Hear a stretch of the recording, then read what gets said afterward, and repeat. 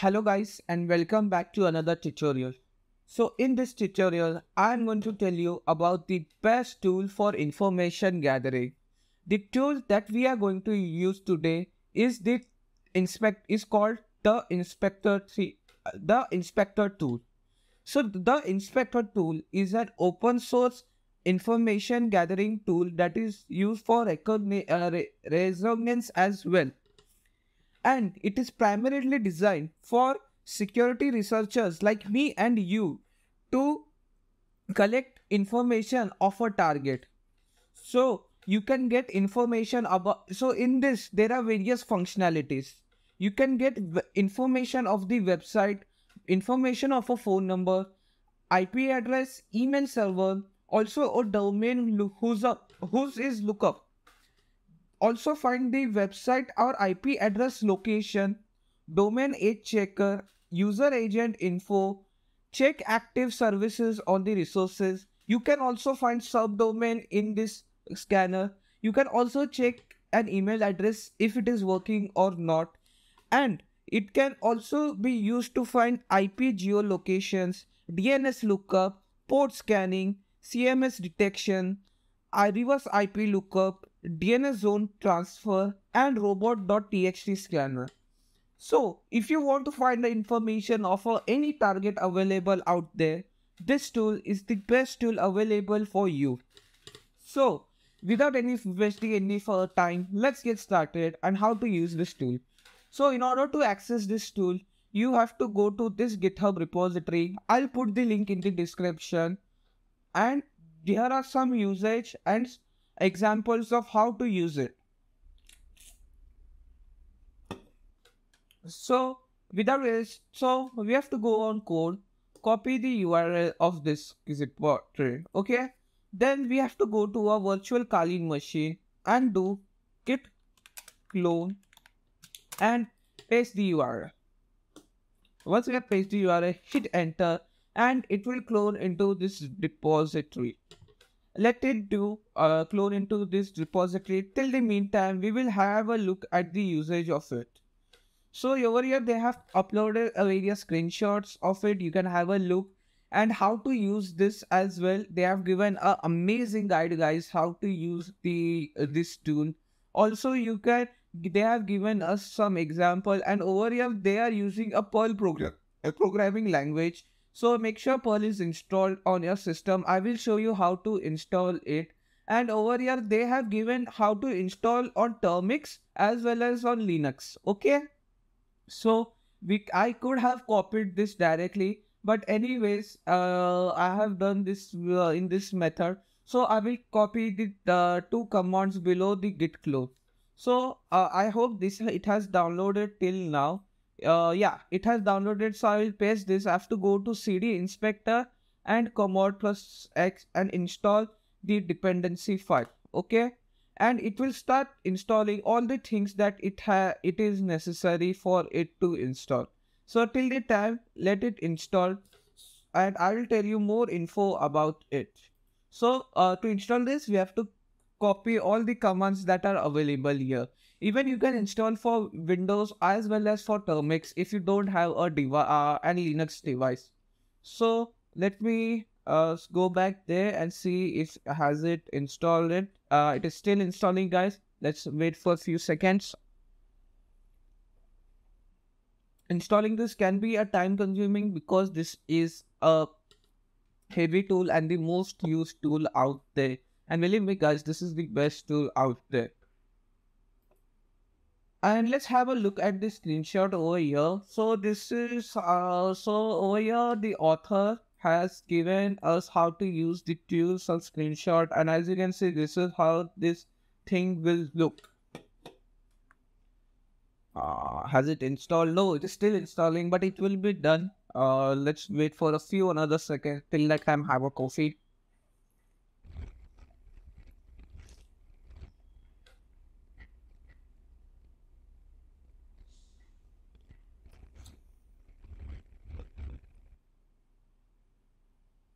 So the tool has finally been installed.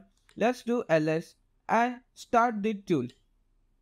Okay, we are going to do perl uh, uh, first we do ls and this is the file we have to run the inspector uh, dot pl though we do the and click on tab the uh, sorry not the the th3 and click on tab i will hit enter and as you can see guys i will zoom out a little bit for you so that uh, it can be easier for you. I forgot how to zoom out guys. Sometimes uh, it happens. I will uh, go i will quit this session. I'll again zoom out for you. I will uh sorry guys. I need to close this tab again and uh need to go on new terminal. I forgot how to zoom out. Sorry. I will do control shift plus plus for you to zoom in and i will go to cd downloads where my file is. I'll go to C uh, cd document sorry. And i'll hit tab. I'll do ls ls i this is the file that we have to the inspector will do cd the three inspector d3 uh, inspector i will hit enter. I'll do ls and we have to run this file okay? For this. So i will copy this. I will do perl paste so guys uh, i did not have to install perl because this when we do install.sh okay it will install perl automatically for us so no need to use any third party or like any extra step for you if you already have perl that's great so this is if i click enter this is how it has been it will look the, it has been co coded by Mohammad Riahi. A huge shout out to this guy, amazing guy out there. So uh, this is how the tool will look. So over here, we will explore each and every option for you. Before starting this uh, tool, I want to tell you, please do like and subscribe to this channel as it motivates me a lot and I will provide you free contents like this. So first we will find out an website information. So if you look here, they have told us choose an option. So over here we will choose 0, 1. So I will type 0, 1 and I will hit enter. So enter website name. So I will put google.com, google.com. I will hit enter and it will give me details of google.com. See guys, it has given me so many details. It has do DNS lookup, who, who am I, everything that is required by a pen tester. It will give you and if you want to track down a scammer who has scammed you this tool is best so over here it has given us the hosting at google.com it has given us how many visitors it has per day it has given us the ip address. It has given us the uh, ipv6 address. It has given the real reverse dns so the host name as well. Isn't it amazing? The hosting company name the ip range the address, the country, the hosting phone number, everything guys that is necessary. So once you have done or got all this information and you want to quit and try another option, we can hit enter. And if we hit enter, it will go back to the home page. Isn't it amazing?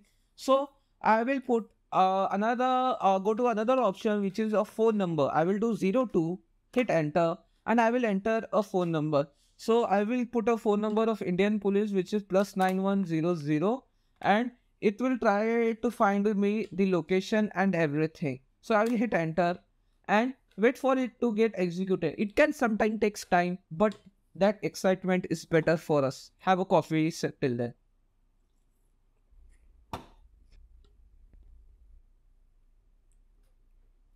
So over here the uh the phone number was short uh because it was a police phone number so anyways i will uh try to start this tool again and i will put a real phone number in this so wait for me to put a real phone number in it guys so i will be putting a phone number uh, over here uh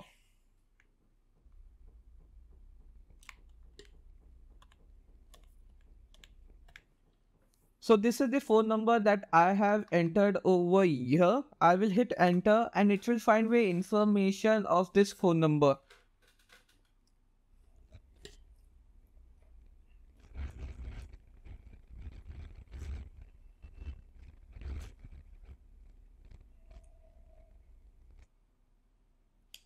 Oh guys, sometimes, uh, oh sorry, uh, it has to uh, enter phone number without uh, the uh, sorry and without the plus nine or, or the country code. So i will do again. Sometimes this doesn't work. It's fine guys. Uh it does it doesn't work sometimes it's fine because that number may not be valid. I'm entering a random number but for you it might work. So don't get demotivated. Let's hit enter again and see if it works or else we'll go to the next option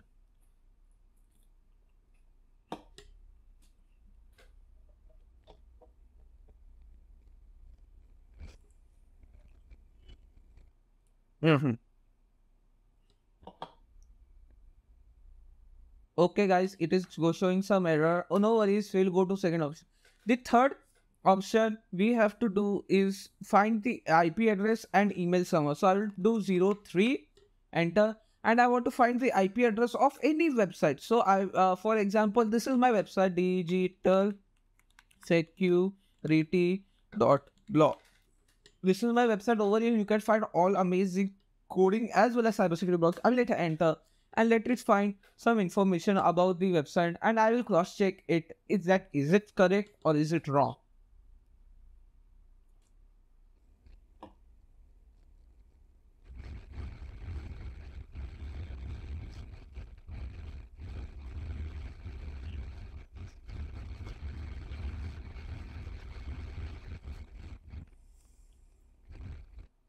Yes. So guys, it has found the MX record for digital, the domain name for uh, digitalsecurity.blog.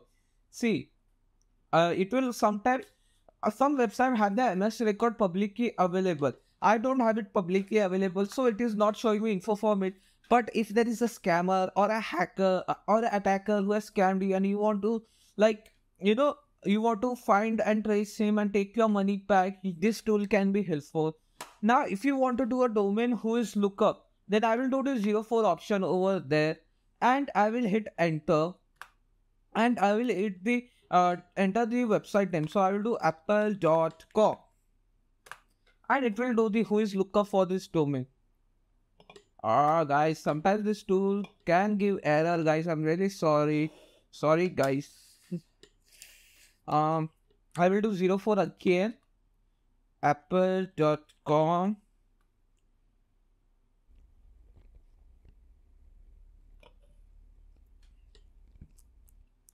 zero four again.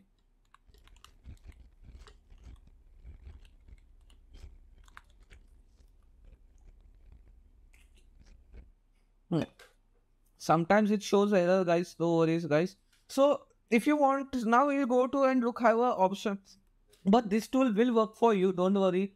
Sometimes my internet connection is poor don't get demotivated. So if you want to bypass cloudflare sometimes there is a cloudflare uh, block in our website. So you can easily bypass it. Sometimes if i fall i will put 06 option. I will put digi artals i'm over here putting a random website name because uh, I don't have a Cloudflare well. But uh, sometimes this happens, you know, ki, like uh, you have been blocked by cloud Cloudflare. So in order to bypass it, you can use this tool. So it will give me my Cloudflare IP, which is this, which is correct. It will still give me more information. So let's wait for a few seconds.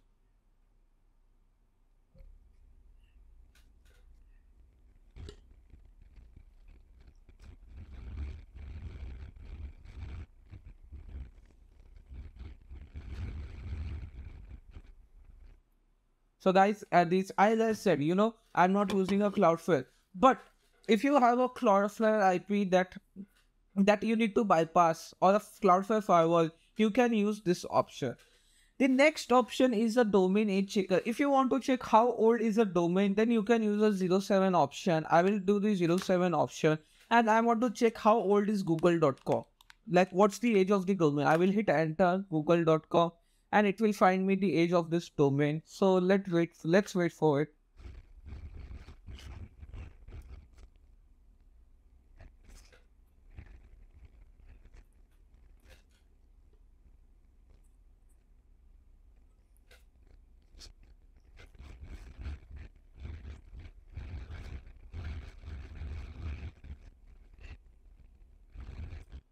Sometimes guys it does give error so don't get you know frustrated you have to keep on trying it again and again. No worries guys. If you now we will check if this uh, option like the user agent info is working or not. So i will do uh, 08 enter user agent. I will say apache. I'm putting a random option.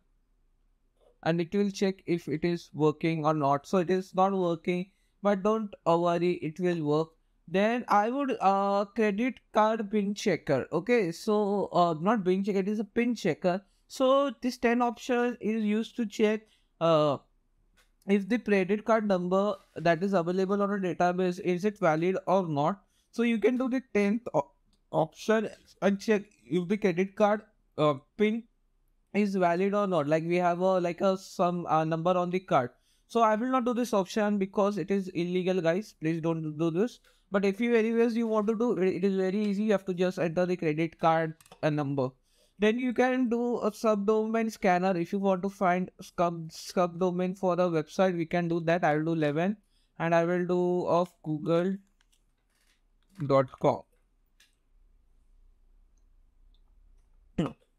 So see guys, it has given me all the subdomains of a website. So if you are doing website hacking, this is really important. This has given me domain name as well as IP address. Isn't this amazing? All the two subdomains of Google. So I will exit this because I want to show you some options.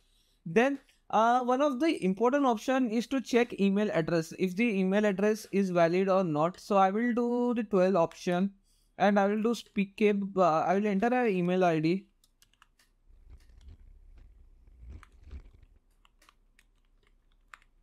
and it will check if it is working or not.